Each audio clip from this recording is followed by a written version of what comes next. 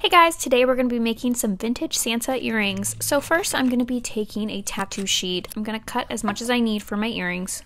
You will need a bowl of water for this.